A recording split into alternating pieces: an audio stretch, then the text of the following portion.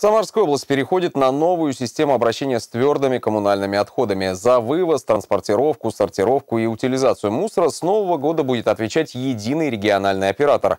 Все тонкости нововведения в нашем следующем материале. Олег Якушев из Большой Каменки фиксирует на свой смартфон наиболее живописные участки местного пейзажа. Таким образом, на интерактивной карте свалок региона одной точкой станет больше. Воспользовался э, вот этой системой, поставил координаты и обратился, когда указал, что на, на данной местности находится вот эта несанкционированная свалка.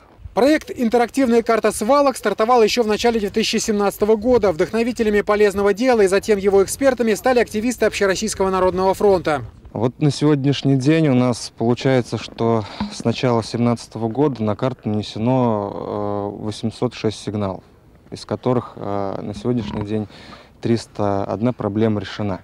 Благодаря Народному фронту и неравнодушным жителям сейчас в регионе выявлено 513 несанкционированных свалок. С нового года Самарская область переходит на новую систему обращения со всеми этими отходами. За их вывоз, транспортировку, сортировку и утилизацию будет отвечать единый региональный оператор плюс как раз системы, что э, каждому жителю ну, будет, э, не, не будет иметь смысла выбрасывать э, на свалку, потому что у него будет оплата, и будет рекоператор будет вывозить эти отходы. То есть э, услуга будет осуществляться.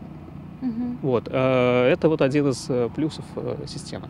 Региональный оператор будет участвовать в ликвидации только тех свалок, которые появятся с 1 января будущего года. Сначала представители организации собирают доказательную базу, составляют акт, делают фото. Затем собственнику участка, где обнаружена свалка, направляется уведомление. В течение месячного срока, если не будет э, там, никакой реакции, то, соответственно, рекоператор своими силами будет убирать вновь образованные навал или свалку и в дальнейшем уже